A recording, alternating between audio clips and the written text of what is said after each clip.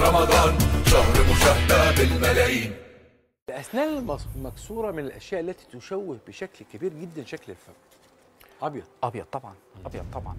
آه تعالى نتكلم عن مثل بسيط خالص أو هندي مثال هنضرب مثال بسيط جدا. عندنا أسنان مرصوصة جميلة لونها حلو جدا جدا جدا جدا جدا لشخص ما تمام؟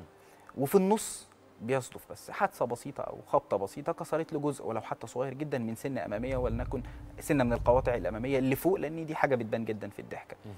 سنان كلها جميلة بس هنقول بس شوف هو ده بص عنده سنة مكسوره مثلا زي الحالة دي. هو أسنانه مرصوصة ولونها إلى حد ما لايقة عليه تمام؟ بس هو مشكلته في السنتين اللي قدام اللي إيه؟ فيهم نسبة تسوس ونسبة كسور. دي بكل بساطة ممكن نعالجها عن طريق القشور التجميلية طبعا ال veneer the power of veneers اللي هي حاجة صغيرة خالص بتعمل مفعول كبير أو تأثير كبير جدا وصلنا بيها للصورة اللي فوق كده بس.